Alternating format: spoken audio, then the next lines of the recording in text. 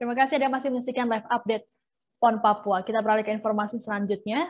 Pertandingan cabur bulu tangkis PON 20 Papua memasuki hari kedua pada Rabu 6 Oktober.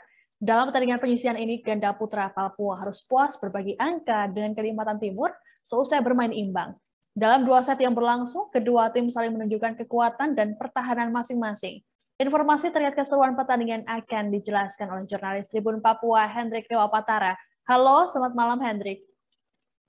Halo, selamat malam rekan Siska dan juga Tribuners.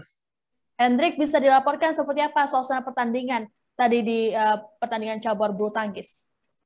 Ya, terima kasih Siska.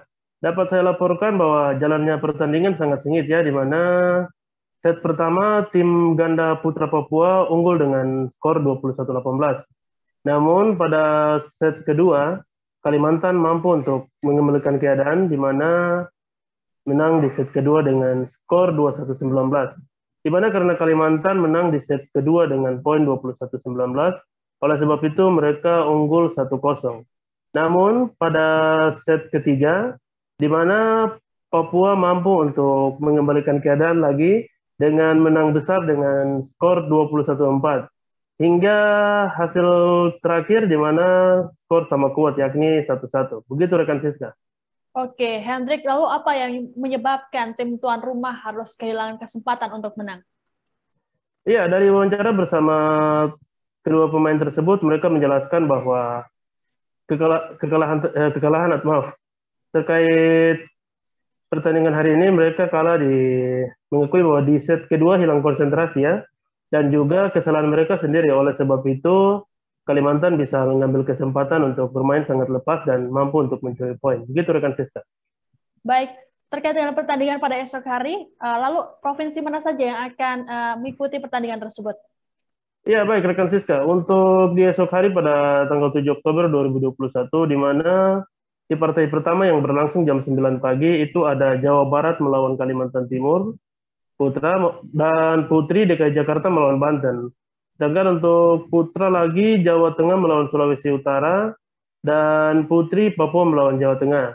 Dan untuk partai pada jam 2 siang, di mana Jawa Timur akan melawan Banten, kemudian Bali melawan Sultra, DKI Jakarta melawan Bali, dan Jawa Timur melawan Jawa Barat. Begitu rekan Siska.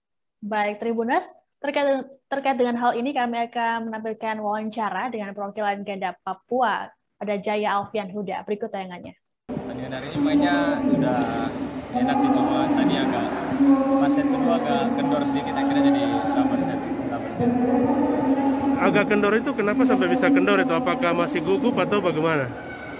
Uh, kita banyak melakukan kesalahan sendiri saja jadi lawan semakin pede dengan mainnya.